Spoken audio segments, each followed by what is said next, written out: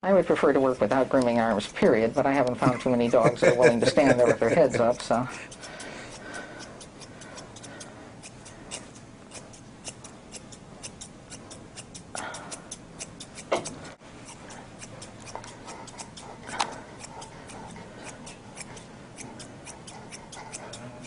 There are a few I can do. Like Lucy. I figured out how to do Lucy. You put a donut on the table in front of her, No. and Lucy points the donut like the best pointer you've ever seen. And she'll stand there frozen for an hour if she needs to.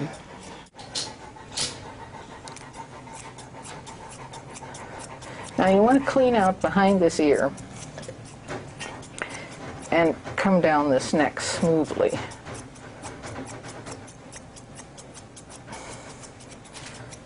Because usually there's way too much hair here, mm-hmm. and they look like they don't have any neck. Check it out. You've stood here before with things on your.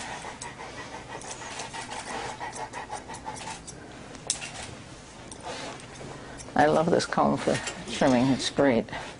I like mm-hmm. to use a coarse tooth to flip the hair out. And mm-hmm. Works great.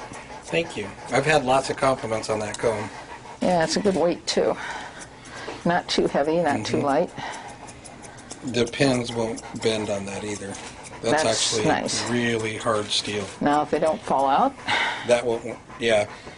I used to have to run around with some of them with my super glue, scrounging my things off the floor and back here. Stand.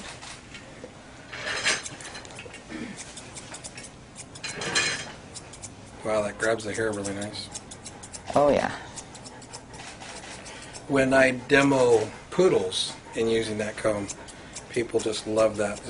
I was at a show and somebody, I was showing her how to work on her poodle, and um, and she says, "Oh, I have a comb like that." I said, "Really?" So she tried her comb, and then she tried this one, and she went and bought one.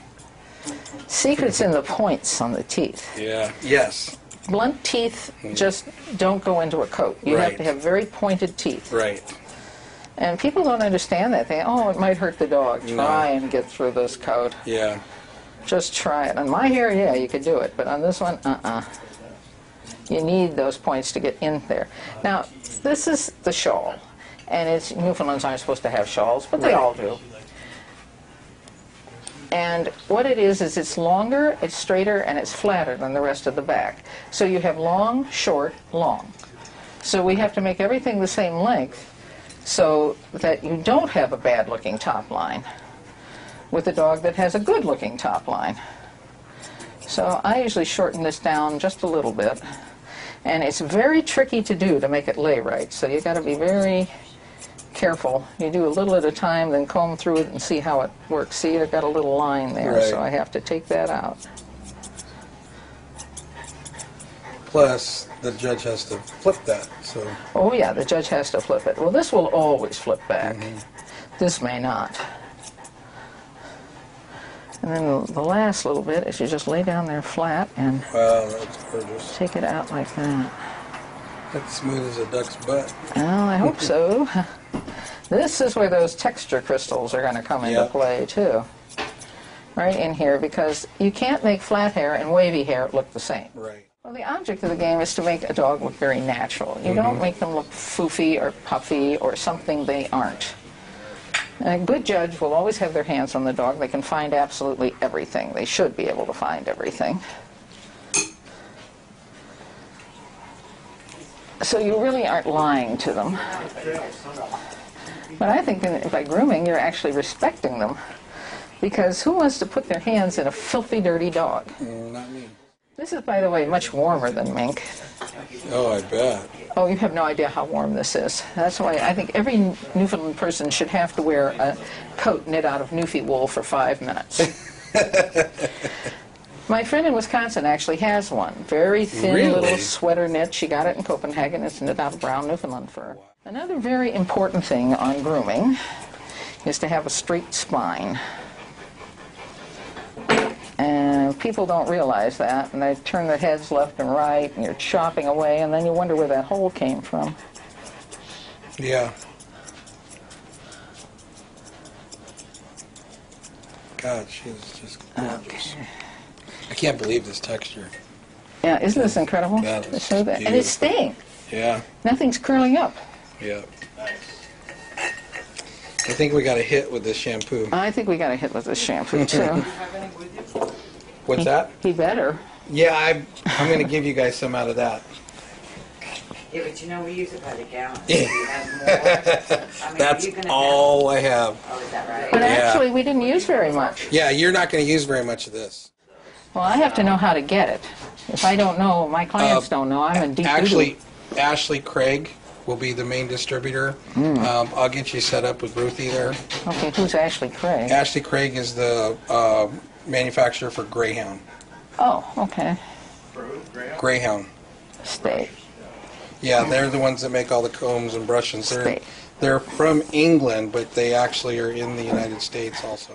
I know that this is an area where people mess up the ears really bad. Ears are tough. Yeah. So what are you using for a, a line to try to get that shape? Okay, what I do is I edge the ear. Okay. That's the first thing I do. And okay, I'll try and explain it. The way it was explained to me was munch around on it until it looks like an ear. Right? That wasn't a very good explanation, but that's the best I've heard. Right. so what I do is I hold the ear out and I edge it, trying not to remove the skin. Actually, if you have a good pair of thinning shears, you should be able, and you hold your shears lightly, as you Uh-huh, should, right. you should immediately be able to feel whether you've got skin or hair. yeah. And you really shouldn't cut them because you can feel when you're chomping down. And then I edge the front side. And remember, this flap turns here, so if you hold it like this, it's laying out flat, so you'll get the hair off there. I mean, I'm sure you know that, but not everybody knows it. Stop. Yeah, they hate this. They don't like the sound of the scissors. It squeaks uh, differently than, you know, I can't hear it, but they can. Then what you do is you graduate from the length down here up To the top. to the top. You want it longer up here so that when I stand the whole head out, I want to see a ball, Okay. or sort of like a ball. You'll see a little shape to the ear. Whiskers are never the most popular things to do. Stop. I know And you're tired. with newfies, you know, some people don't like to take them off, and if you want to do that in the classes, that's okay. But it comes to specials time, get rid of them. Your muzzle looks broader when you remove the whiskers. Eh, See, it's a thing with hair. It's all an optical illusion. And when you can, see this hair is wispy, Mm-hmm. and I can look down into it. And when I can, I say, okay, the head's down in there somewhere. Right. But if I have a solid piece like this, I say, oh, the head's there. Mm-hmm. So this is the whole thing. You're taking the tips off so it's solid. Removing the halo. Yeah, stand up here. And anything that sticks off, as I, oh, as I said, you just have to kind of go around and look at it. Then hope she'll flip her ears up for you and see what happens when she does that.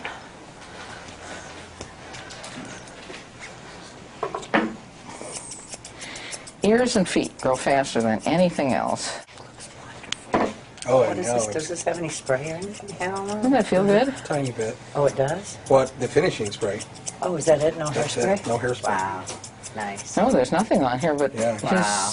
The shampoo, the conditioner, yeah, and the finishing just a tiny little bit of conditioner, Yeah. but it worked. didn't pull any hair out? No? I can't believe it. No, it That's didn't. ex-